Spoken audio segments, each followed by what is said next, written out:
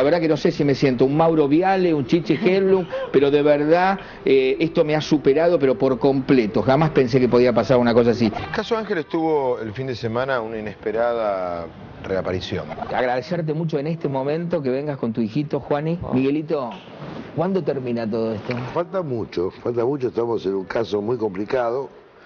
Estamos en un caso, usted sabe todo. Bueno, Usted sabe todo. bueno. Miguel Ángel Pierre, el abogado de Mangieri, fue a un programa de televisión con el hijo. El momento televisivo del año.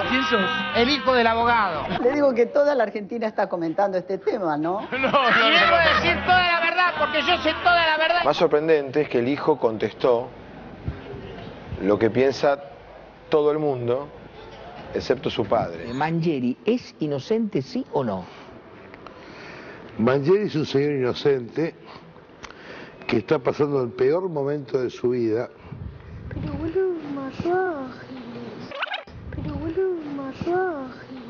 No, no pasa nada, no pasa nada. Me dijeron, ¿cómo lo armaste? Qué bien lo armaste. No, no, no. Creo que si hubiera estado guionado y ensayado no salía tan bien. My mom's a teacher. And your dad?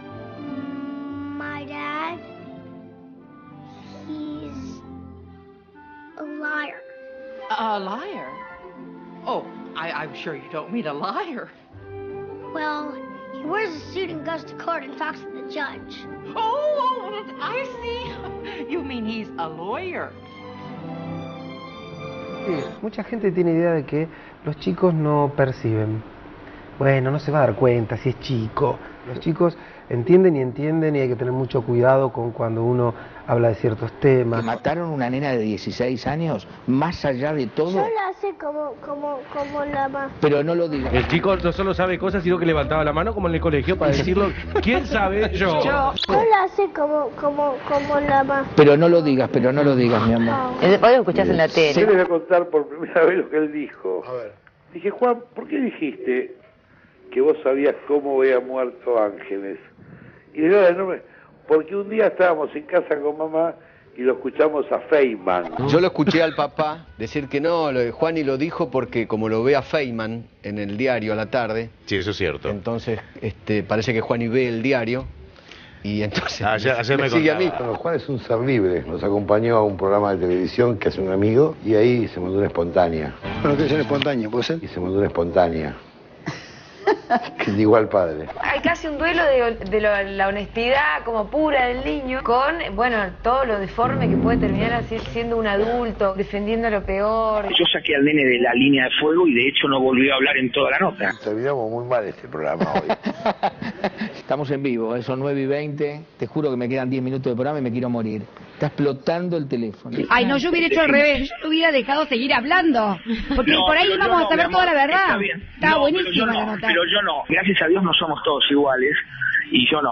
Y dentro de mi manera de pensar, sentí que tenía que sacarlo de la línea de fuego. Yo, viste, la desesperación por la primicia hubiera dejado que el chico se hubiera habla- siguiera hablando media hora más. Mercedes Ninzi no solo es mi control moral en el programa de radio, Yo, viste, la desesperación por la primicia hubiera dejado que el chico se hubiera habla- siguiera hablando media hora más. Es un chiquito de, de seis años que ha sido totalmente espontáneo, eh, querer llevarlo un poco más que a tribunales a declarar. Yo estoy segura que ese chiquito sabe todo cómo le mataron a Ángeles y que lo sabe más que hasta el juez. Pero no es un Entonces investigador, Mercedes, lo que escuchó escucha en la casa. Tiene seis Mercedes total una nota te agarra al nene. Yo lo hubiera tenido 45 minutos al chico hablando del caso. Mercedes Ninzi no solo es mi control moral en el programa de radio, Yo lo saco a Pierre y sigo hablando con él. Ciertamente fue un momento de los que eso, eso que vamos a repetir históricamente a lo largo de los años, el tema del testimonio no aporta absolutamente nada, no varía en absoluto. El caso se juega en el expediente judicial, Bueno, en la claro, justicia. Sin embargo, uno le queda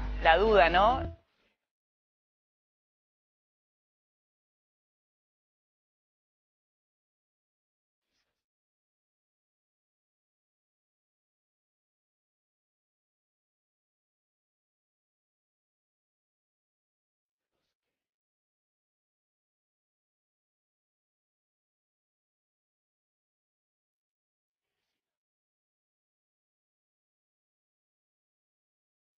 A mí te digo sinceramente que el chico haya dicho lo que dijo no me preocupa. Me preocupa que te haya dicho boludo. Bolu le dijo al papá. Yo no lo voy a decir entero. Es que no me dice boludo. Ahí dijo, Es un boludo, mató ángeles. Pongan bien el audio. Pero boludo, mató ángeles. Es que no me dice boludo. Mira, para mí me dijo boludo y punto. Bueno, detengámonos en que le dice boludo al padre. Cosa que Empecemos- empecemos por ahí. El Ya chico parece dice la verdad. El chico dice, le sale por los poros, quiere decir la verdad. Mi amor, no podés ir a mí como familia Inger llevar un Se- niño que llevando un escuche caso de todo eso. Julia, ¿vos has tenido también algún mal momento que te ha hecho pasar de chiquita a Sofía Gala, que era bastante brava? ¿Fuiste a ver al teatro a tu mamá? Sí. Sí, un Sí. todo de veces.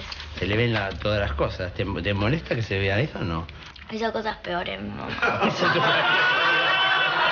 Pero no, no en un caso tan No, bueno, tenebroso. Che, Sofi, ¿qué onda con tu hija? Si fuera por ella estaría acá dando vueltas como el hijo de Pierri. Qué tremendo ese nene, ¿eh? Terrible, ¿eh? Pero si fuera por Elenita, El estaría... nene no sé si es tan tremendo, pero es más tremendo es el papá. Y la Escuchame. gente que defiende el papá. Escúchame. Los chicos razonan de un modo que a veces denuncian la manera engañosa en la que los adultos nos manejamos. ¿no? ¿Y qué cosa es lo que no te gusta de tu papá? ¿Qué cosas hay en tu casa que, que, que, que tú dirías, papá, no? hagas"? Es un malcriado. ¿Por qué? Le pega a mi mamá. Le pega a mi mamá. Denuncian la manera engañosa en la que los adultos nos manejamos, ¿no? Ahí está, Juancito. Vení a darme un beso, Juancito. Vení. Juanes, ¿no? Le estoy diciendo Juan, bien el sí, sí, nombre. claro. Juancito. Qué rico que sos. Dame un besito. Bueno, dale un beso al papi también. No lo retó usted Hola, después, Juan. ¿no? No, para nada. Pero mató ángeles. No le dijo ni la mamá, está la mamá, la señora. Bueno, anda con mami, chao. Se ha transformado en un personaje, en un personaje, Juan.